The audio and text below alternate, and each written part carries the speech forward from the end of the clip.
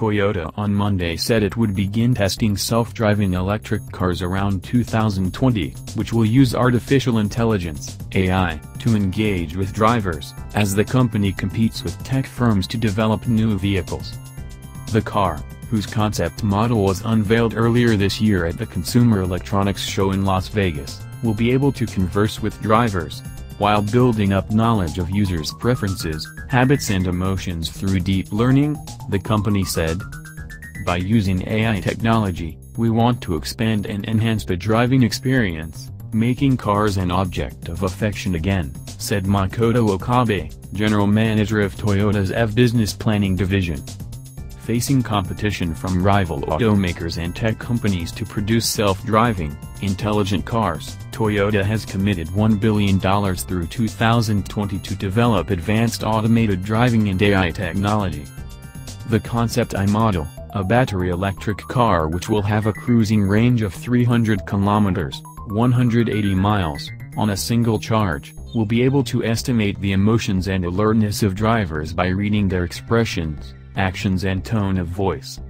Using this information, the vehicle will be able to take over driving responsibilities when necessary, after assessing the driver is too tired to drive safely, for example, and also interact with the driver and passengers.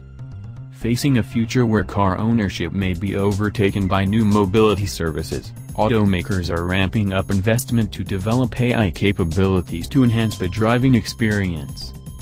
Ford Motor Company earlier this year invested $1 billion in Argo AI, a startup set up by former employees of Uber Technologies' self-driving car development team, to develop an on-demand self-driving car service. General Motors has also been investing in AI startups. Honda and SoftBank Corp announced last year that they were teaming up to use humanoid robotic technology in cars to enable them to communicate with drivers. Reporting by Naomi Tajitsu.